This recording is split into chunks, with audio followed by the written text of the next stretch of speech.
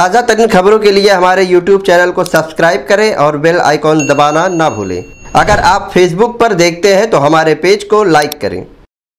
मैं इस्लामुद्दीन खान और आप देख रहे हैं प्रहार टाइम्स। बिहार के वैशाली ज़िले से मानवता को शर्मसार कर देने वाली एक तस्वीर सामने आई है।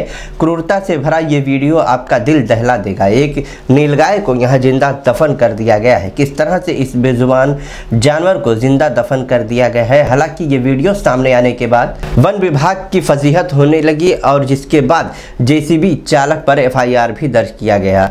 किसानों की फ़सल नष्ट होने से बचने के लिए वन विभाग ने तीन सौ नीलगायों को मारने का का दावा किया है। मीडिया रिपोर्ट के मुताबिक फ़सल बचाने के लिए नीलगायों को मारने का आदेश जारी किया गया था। नीलगायों को गोली मारने का प्रावधान है। मगर गोली लगने के बाद सुनिश्चित कर लें कि नीलगाय की मौत हो गई है। उसके बाद ही उसे दफन किया जा सकता है। मगर जिस तरह से इस नीलगाय को जेसीबी से गड्ढा खोदकर घायल नीलगाय को उसमें गिरा दिया जाता है और लाचार बेबस आँखों से ये नीलगाय सभी को देखता है। मगर जेसीबी से उसके ऊपर मिट्टी डालकर उसे ज़िंदा दफन कर दिया गया है। देखें ये वीडियो।